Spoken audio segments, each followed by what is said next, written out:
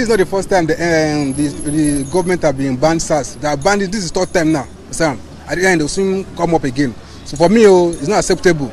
Let, let the government, let them scrap the unit. Sam. You can see the masses are not happy. Nobody's happy about the SARS. SARS are busy killing us in Nigeria. Especially when you go to uh, when you go to SARS, you see them they uh, shooting innocent innocent Nigerian.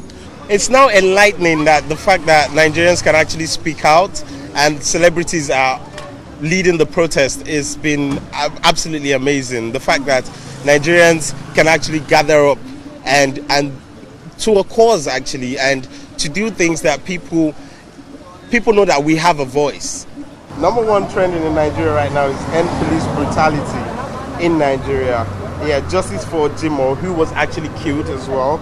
Uh, congratulations, Nigerians! Breaking news: uh, let Buhari. So everything that's trending on Twitter right now has to do with the end SARS movement. So it's really, really exciting to see that Nigerians are gathering together for a good cause. The Nigeria Police Force also announced an investigation into allegations of crimes committed against citizens, adding that the culprits will be punished.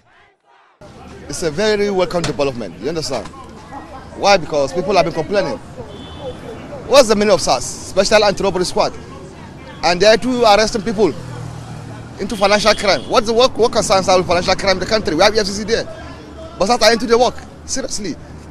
Going about, say you are a Yahoo boy. No, let them go, let them go, let them go. That's what I can say, let, let them go.